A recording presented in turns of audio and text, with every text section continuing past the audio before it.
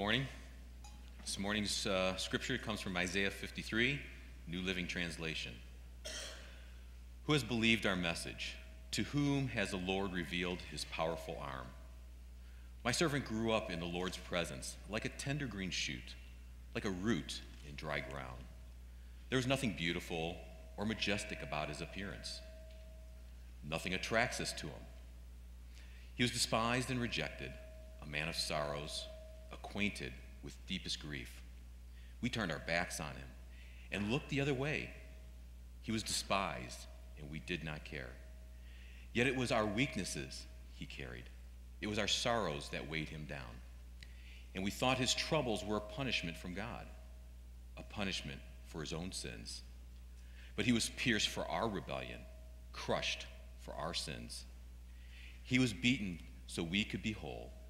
He was whipped so we could be healed. All of us, like sheep, have gone astray. We have left God's path to follow our own. Yet the Lord laid on him the sins of us all. He was oppressed and treated harshly, yet never said a word. He was led like a lamb to the slaughter, and as a sheep is silent before the shearers, he did not open his mouth. Unjustly condemned, he was led away. No one cared that he died without descendants, that his life was cut short in midstream. But he was struck down for the rebellion of my people. He had done no wrong, and he never deceived anyone. But he was buried like a criminal. He was put in a rich man's grave. But it was the Lord's good plan to crush him and cause him grief. Yet, his life was made an offering for sin. He will have many descendants. He will enjoy long life, and the Lord's good plan will prosper in his hands. When he sees all that is accomplished by his anguish, he will be satisfied. And because of his experience, my righteous servant will make it possible for many to be counted righteous. For he will bear all their sins.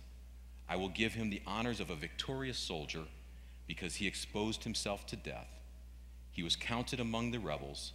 He bore the sins of many and interceded for the rebels.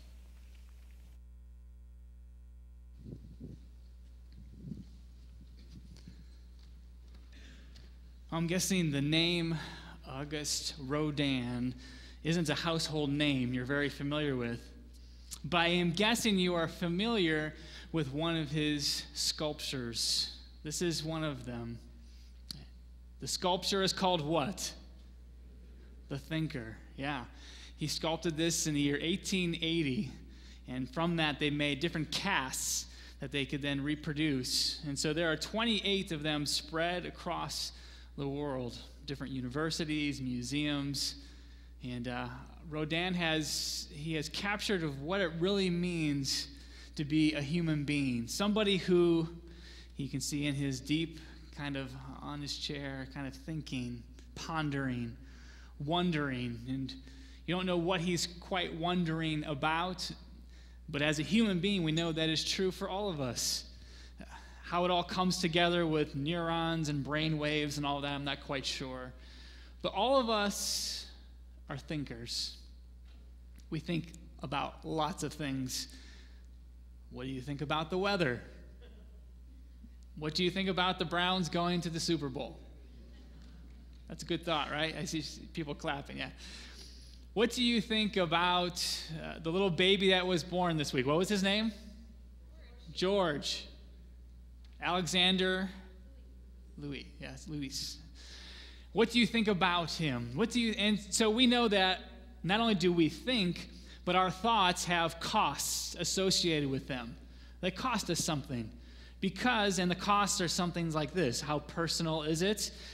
What will others think about my thought? And how will it affect the way that I live my life?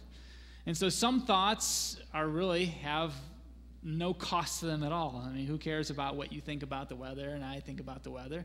No cost there. But how about if you if I came up to you and said, "What do you think about Trayvon Martin?" Or what do you think about DOMA? We talk about DOMA, the Defense of Marriage Act. What do you think about same sex, eh, same sex marriage? What do you think about those kinds of things? Or what do you think about what it means to, to love people who aren't like you? Or what does it mean to be really responsible with your money? What do you think about that? You see, now these oh, will carry a little more cost to them, a little more costly thoughts. People might not agree with me, very personal. What will others think? How will it affect my life if I truly live out what I am thinking? So these kinds of questions go deeper, but there is one question that is the deepest. There is one question that goes beyond all. And the costs of this thought and what you think about this are eternally, and they have eternal ramifications. We're going to look at that question today. And again, it's the, is the, I call it the question of all questions. And again, it is going to be something that's going to cost you a lot. And what your answer is, who knows? But we're going to face that question today. It's a question that Jesus is going to ask his disciples. But see, that same question is being asked to all of us even today. 2,000 years later, we're asking the same exact question to every person who is gathered here this morning. We had uh, a 100, 200 people first hour, and for the couple hundred people here, and for the couple hundred people who will be here next hour. Every single one of us, as thinkers, are faced with this question. We're going to ponder that and explore that this morning. I am so glad you are here to worship and to hear what God has to say this morning in His Word. So, if you have your Bible, we're going to be in the book of Mark, chapter 8. We've been walking for a while now through the book of Mark. What, what does the gospel writer have to say to us? What is his message? And uh, a very interesting passage this morning. Chapter 8, we're going to be in verse 27. If you don't have a Bible, we'll be projected for you. You can read along. The setting is with Jesus and his disciples. They're coming out of Bethsaida and they're heading to Caesarea Philippi. It's about a 25 mile journey. And for those who walk about two, three, four miles an hour, you can tell this is going to be an all day experience walking together along the path. Can you imagine all the things that they would have talked about along the path? Well, we get a glimpse, we get some snapshots of what they did talk about. And Jesus is wanting to find out a few things. So, verse 27, let's start reading. Jesus went on with his disciples to the villages of Caesarea Philippi. And on the way, he asked his disciples, Who do people say that I am? And they told him, John the Baptist. Others say Elijah. And others, one of the prophets. See, up until this point, the, the crowds who have been following Jesus are huge. He is so popular.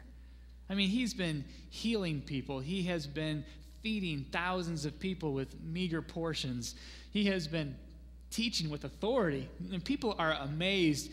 He has this kind of following that we would associate with, with royalty or rock stars or professional athletes. I mean, people just want to be around him. And so Jesus is checking in with his disciples. What are the masses? What are they saying about me? And the answers revolve around some good guys in the long history of Israel. Uh, some think you're a reincarnated John the Baptist. Some people think you're Elijah.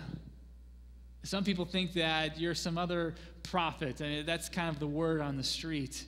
Very nice compliments of, of who people think Jesus is. Nice comparisons.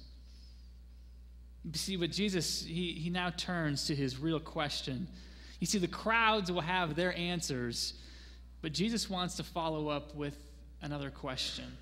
Verse 29, this is what Jesus will say. And he asked them, But who do you say that I am? See, now the finger is pointing not in the direction of the crowds and what they think.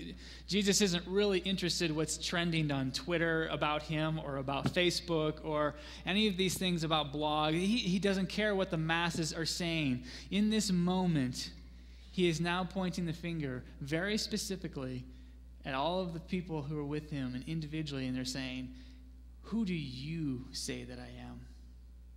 You see, it's one thing to ask a crowd, what do you think about my shirt? What do you think about this shirt? Do you like it?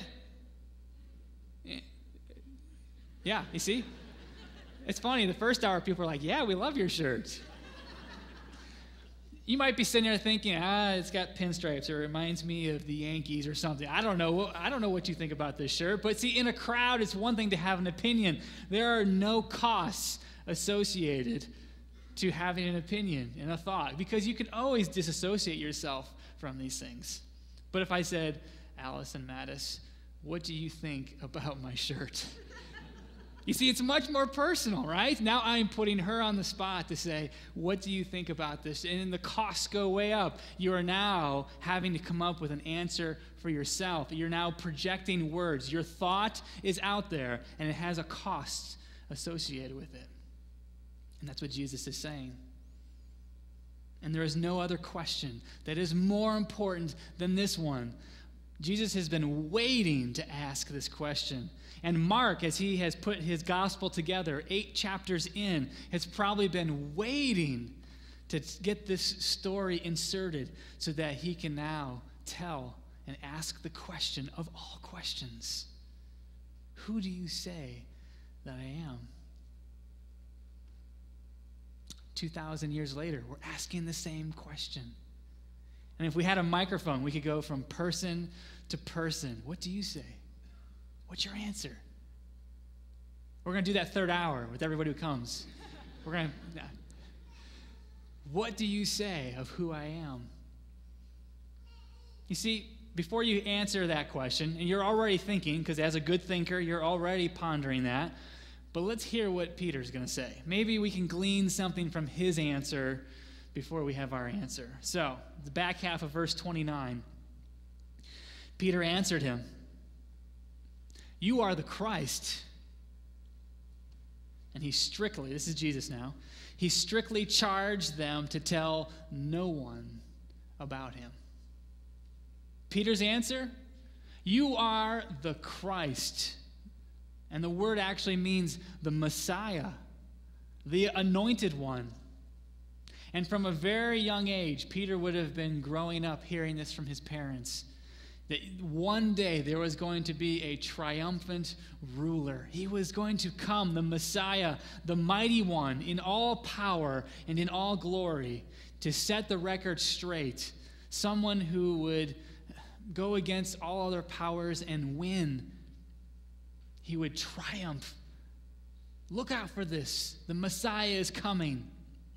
And so Peter, he ventures out with his answer You are this person, the Christ. And then we have this curious verse, verse 30. Jesus says, He strictly charged them to tell no one about him. Keep quiet. Doesn't he have the right answer? Isn't he saying the right thing?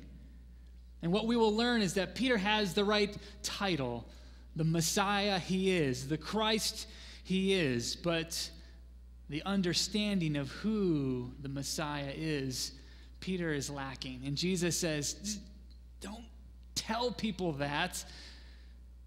It's not quite right. Much like if, you know, we grow up and there's lots of things in life we don't quite understand.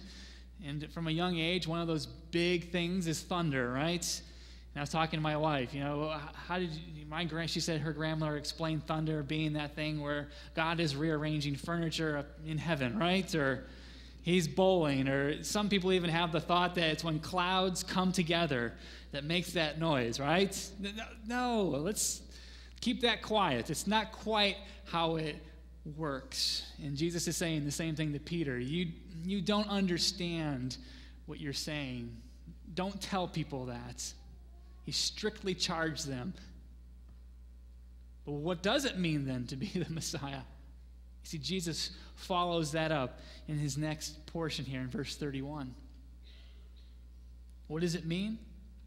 Well, he began to teach them that the Son of Man must suffer many things and be rejected by the elders and the chief priests and the scribes and be killed. And after three days, rise again. I love verse 32. And he said this plainly. This was shocking news, right?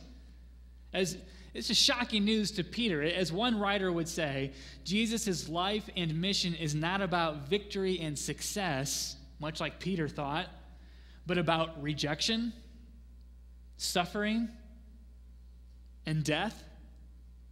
Wait a second. Even though he said this plainly to them in very straightforward language, I can still imagine Peter being there like, you got to be kidding me, right? Probably bewildered. And the ones who are going to kill the Messiah are going to be scribes and teachers of the law. Uh, death, a suffering Messiah. And passages like you just heard Jim talk about, Isaiah 53, nowhere would they have connected the dots that Isaiah 53 was talking about the Messiah. I mean, he was despised and rejected by men, a man of sorrows, acquainted with grief, one whom men hide their faces. He was despised, and we esteemed him not. Surely he borne our griefs, carried our sorrows, yet he, we esteemed him stricken smitten and afflicted by God. He was pierced for our transgressions, crushed for our iniquities. Upon him was the chastisement that brought us peace, and with his wounds we are healed. No way is that talking about the Messiah. Really? And what Jesus is now doing is connecting the dots from those prophecies to himself. This is what it means to be the Messiah. Peter, he can't accept this. He's, he, this is too much for him.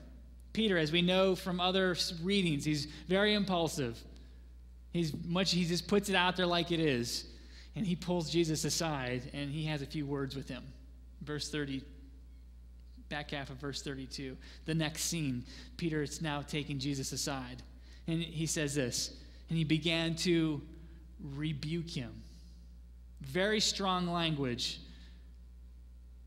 But turning and seeing his disciples, he rebuked Peter and he said, Get behind me, Satan, for you are not setting your mind on the things of God, but on the things of man. You see, Peter's words are, are very tough rebuke, aggressive, but Jesus' words are just as strong. He has to say it this strong so Peter understands that if you set your mind on the things that you want and who you think that I am, you're missing it. I am not going to be someone who you want me to be. There's a different trajectory of, of where I am going. I am the one you say, Christ, Messiah but the one who will suffer and die and rise again. Who do you say he is? What do you think about Jesus Christ? You've heard Peter's answers, the one he longed for, but really he was needing it's an important word. He was needing something much different than the triumphant ruler who was going to come and save the day for him and who they could ride the coattails of into glory, right? No.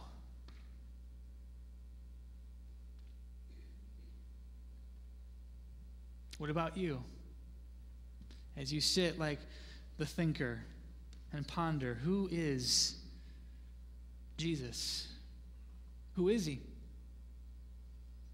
You see, we have an advantage here, don't we? I mean, we have the New Testament, we have the Old Testament, we piece them together. We see the whole story from creation to Genesis 3. There's a fall, and that man is on this quest and trying to figure it out in his sin. And, try, and, and not until we get to the New Testament in Mark, and it talks about the one who is coming. Here he is. It's like the center stage. He is talking about himself. He is going to suffer and die. Why? To pay the penalty and price for sin. And then the story continues that one day he is going to return again and set the scales even. He is going to pay back, it is going to be made right. A new heaven and a new earth, and his glory, it's going to be wonderful.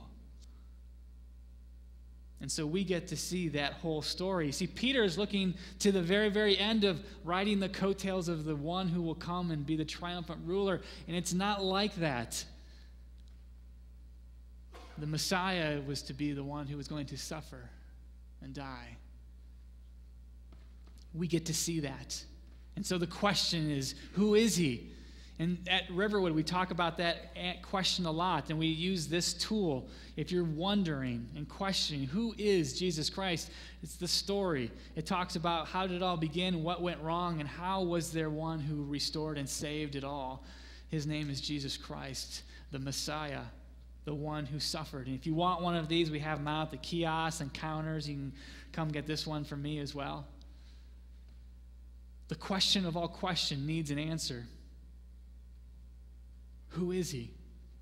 And you sit there and you say, Yes, I resonate with that. He is the Christ, the suffering servant, the Messiah. I believe that. If you do, there is a cost associated with that. It's going to cost you something. The question of all questions to have the right answer, something that is deeply personal and something that others will if you put that out there, might hate you for. It has a cost, and Jesus wants his disciples to be aware of that. And so he continues. If you're sincere, if you understand what it means, verse 34, let's continue on. Calling the crowd to him with his disciples, he said to them, If anyone would come after me, let him deny himself and take up his cross and follow me. If you understand who Jesus Christ is, what it, then there is a different way to live life. A verse we've probably heard numerous times, right? To follow after him, to come after him, to be one of his. If you truly are someone who is signed on the dotted line that he is your suffering servant who has paid the price for you, then you follow him much like a, a teacher and a, rab- a rabbi with his students, you would follow. Jesus says, if you're going to come after me, this is what it means. And he uses this word. He says, to deny himself. To deny yourself. What does that mean? You see, so many times we hear the word deny yourself and we put it in the context of Lent, don't we? I'm going to deny myself chocolate. I'm going to deny myself coffee. I like to deny myself celery. or whatever it is. You denying yourself something. But this isn't what he's talking about, denying in that kind of sense. One commentator says it best. He says this It is not the denial of something to the self that Jesus is speaking of, but the denial of the self itself. Now I'm going to say that again because there is that's a lot to chew on. I know on Sunday morning at uh, 10:32, that's a lot to chew on. But this is huge. It is not the denial of something to the self that Jesus is talking about, but the denial of the self itself. Let's ponder that for a moment. What does denying self look like? It's about denying what the world is putting out there to say to follow and do. It's about denying all the sinful nature and the desires that we want and the things that we so desperately are chasing after in this life, and we, we associate them with the meaning of life. All the things that this that we can have as humanistic little idols that we place and we revolve our lives around. Denying self is this holistic approach. It's about this word surrendering, surrendering everything. And in the Lord's Prayer, we say, His will be done on earth. And it's to ask that question of every area of our life His will be done in my home. His will be done as a father or a mother. What does it mean for His will to be done as a husband? What does it mean for His will to be done as a neighbor? What does it mean? His will be done as a coworker. His will be done in my thought life. His will be done with my money. His will be done, and the list goes on and on. This is what it means to have this kind of relationship with Him. If He is your suffering servant, you come after Him, then this is what it's going to cost. You surrender everything. All of it is His. All of it. All of you. And so he adds on to this idea with a picture. In case they weren't capturing and understanding that, he says this it's about denying yourself, and he says this taking up your cross. Let him deny himself and take up his cross. The cross, we see it everywhere in culture, right? In art, hanging around people's necks, maybe even tattoos. We see the cross everywhere. It's a very common image. And when we hear the phrase to bear the cross, we sometimes associate that with the inconveniences that we deal with in life. Like when your air conditioner goes out in your car, it's like, I am bearing this cross, right? And we use that in our language that way. A very common phrase and we use and jesus saying no that's not what it's like. And contextually for the first century people to hear to take up a cross this was something that was vile something that was horrible. I mean the guilty would carry a crossbeam through town and it was a very public display everybody saw it and they saw that that person was guilty of something and they would walk through town. And it would be agonizing, difficult.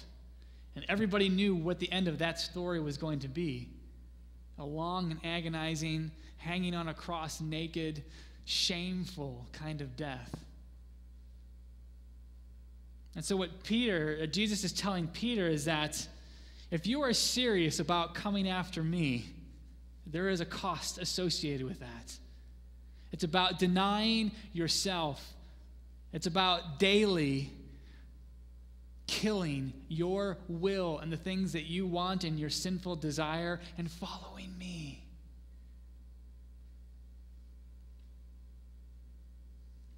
And he's asking them, Are you going to do it? Are you willing to follow me wherever? the pain and suffering and the inconvenience and the mockery and the being made fun of? Are you willing to walk that similar path? That's what it means to call me your suffering servant and Messiah. You see, at this point, the disciples are probably thinking themselves, oh my gosh, what do we get ourselves into here? Really? You see, we wanted to follow this guy. He's popular, he's good, he's doing great things. This suffering, dying, why?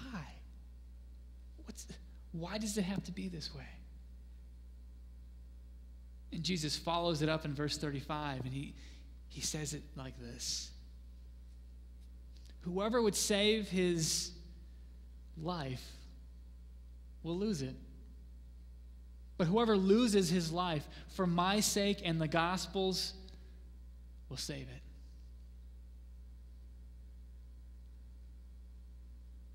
Interesting, right?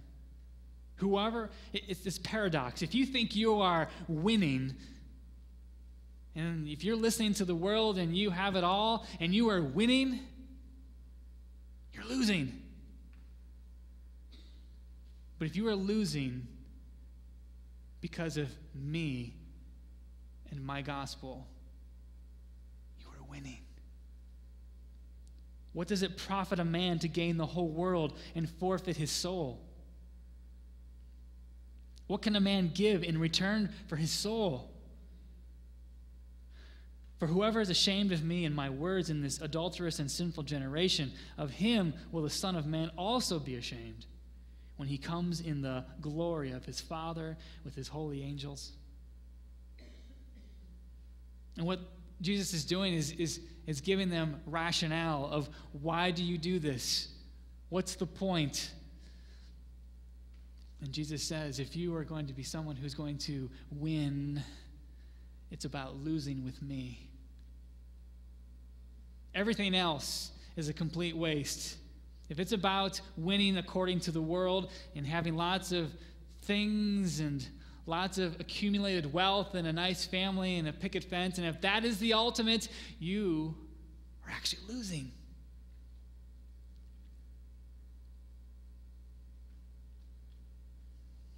And Jesus says, This is what it means to follow after me.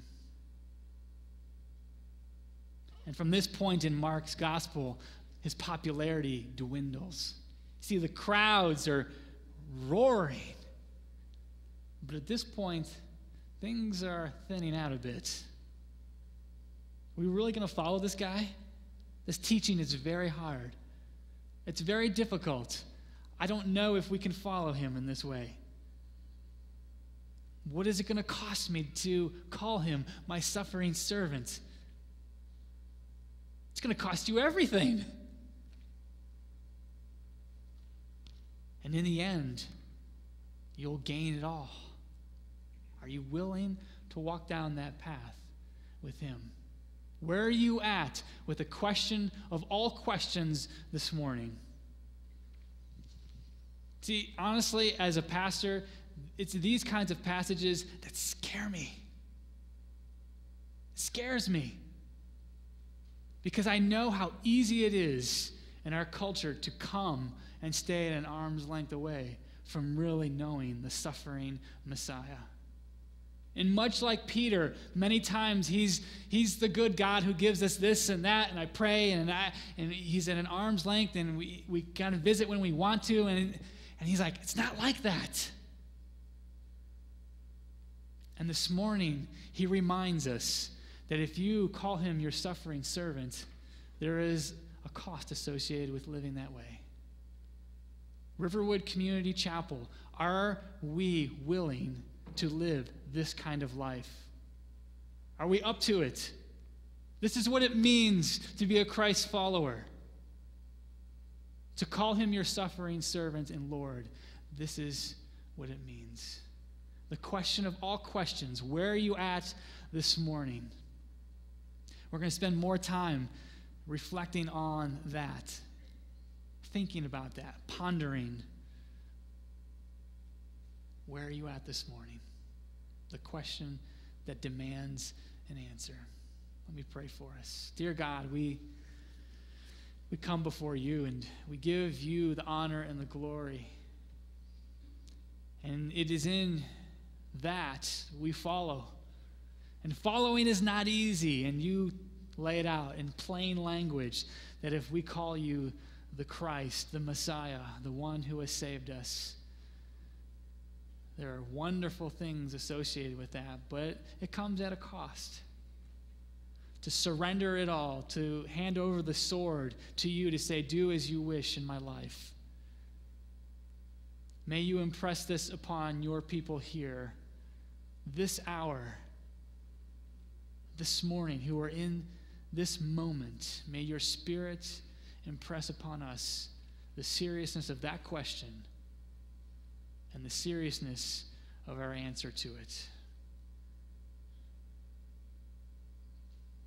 We give you thanks. May you renew us and transform us for your kingdom, for your glory. We pray this in your name. Amen.